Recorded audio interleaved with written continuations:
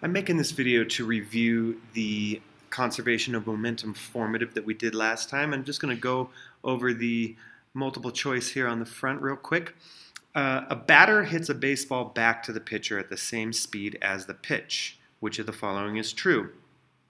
And really this is about understanding that momentum is a vector.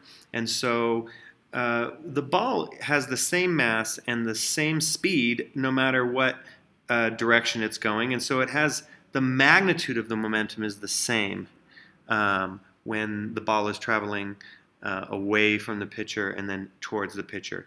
Uh, so the correct answer is D. A is is sort of the closest wrong answer. The momentum of the ball is not the same because because uh, before the batter hits the ball, uh, the momentum is, let's say, positive, and then after the batter hits the ball, it's going in the other direction, so the momentum is equal and opposite.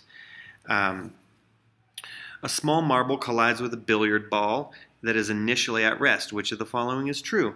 And there's a couple questions on this formative that are similar to this um, idea. And the correct answer is that the momentum of the billiard ball increases and the momentum of the marble decreases. And we, we kind of think about conservation of momentum uh, in, in a system like this where, where what's really happening is some of the momentum of the marble is being transferred to the billiard ball. Uh, because we know that, that uh, the billiard ball will be moving maybe slowly after the marble hits it, but it would be moving and then uh, so it would have, it would have some positive momentum and and if for momentum is to be conserved then the marble must have decreased in its momentum so that the momentum of the billiard ball could increase.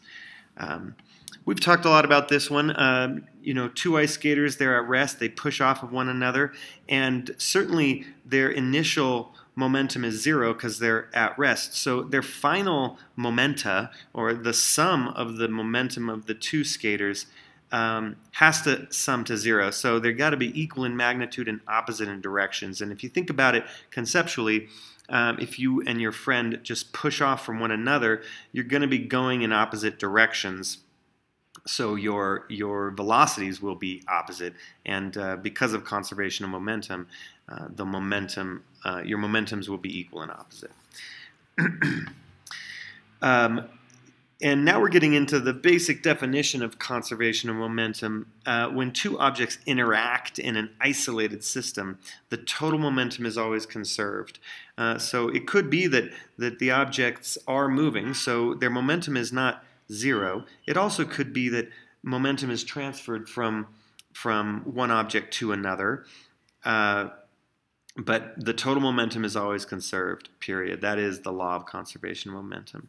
And this is a little more, this is really the same question, but it's, it's saying which of the following expresses that law of conservation of momentum. And, and it, it really just says that uh, D is the correct answer. The total momentum of an isolated system remains constant regardless of the forces between the objects in the system. So it's okay if objects bump into each other um, and um, or, or if, if they're if they're attracted to each other by like gravity or or an, electrostatic force or something because that's just in that's all happening within the system and uh, you'll remember from our notes on this topic that uh, the conservation of momentum follows from Newton's third law that is every action has an equal and opposite reaction and so uh, that was when we derived our formula for conservation of momentum, we began with Newton's third law.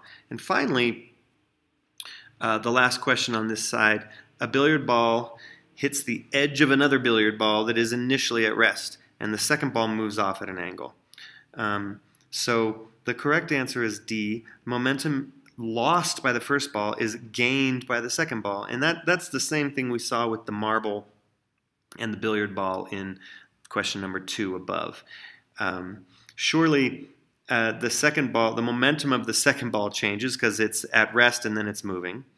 Um, we know that the total momentum of the system must be constant because of the conservation of momentum.